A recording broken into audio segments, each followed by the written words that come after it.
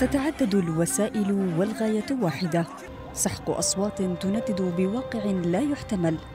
في إيران يبتكر جهاز الأمن طرق تعذيب ممنهجة لفض الاحتجاجات المستمرة منذ مقتل رمز الثورة مهسا أميني سبتمبر الماضي. شبكة السي إن إن تتبعت خيوط شهادات أوصلتها لسلسلة غامضة من المعتقلات السرية في جميع أنحاء إيران.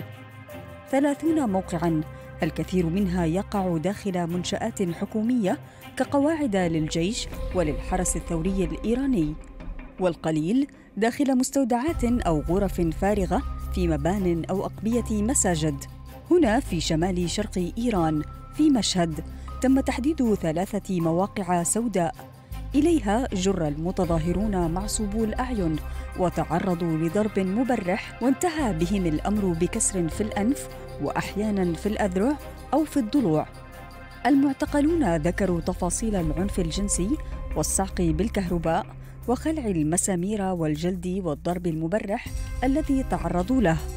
كل ذلك تقول المصادر إنه يجري تحت إشراف قوات البسيج التي تتركز في قاعدة النخبة الدينية. مشهد.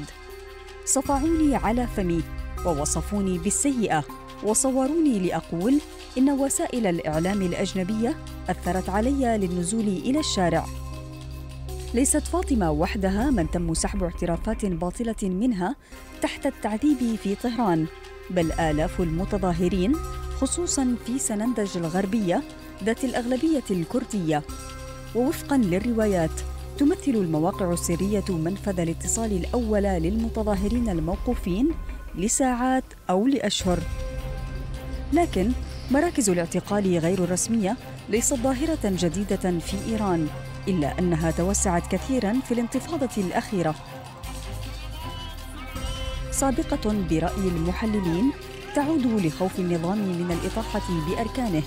ما دفعت به لتكثيف التكتيكات الوحشية خارج نطاق الإجراءات القانونية وإيقاف الاحتجاجات بأي ثمن كان.